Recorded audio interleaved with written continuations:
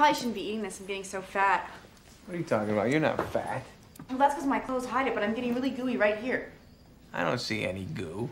You want to see some goo? I'll pull my ass out for you. Well, I see it, and I didn't five years ago. I went out with this guy, and he wouldn't sleep with me. And I asked him why, and he said that when he saw me without my clothes on, that I looked like a porker. Well, he was probably just nervous because you're beautiful.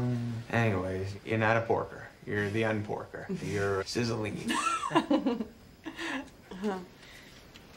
You're so sweet, Dave. well, you're sweet, Kendra. Thanks for having me here. He said her name was Rose. Rose. Rose Rydell.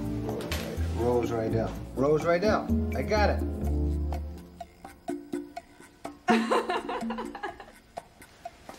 Kendra, even though I'd love to see you take that bra off because it represents a team I've hated my entire life, I think you gotta keep it on.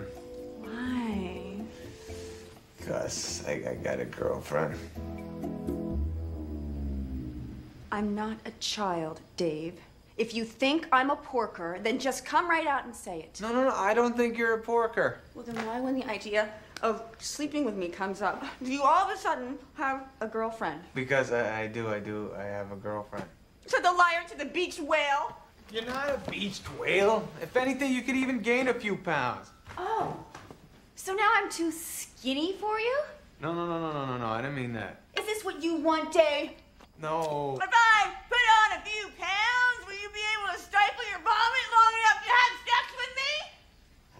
shit.